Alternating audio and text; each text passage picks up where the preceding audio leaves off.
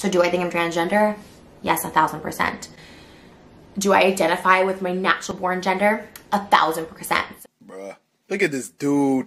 Wait till you see the. no, no, no, no. oh,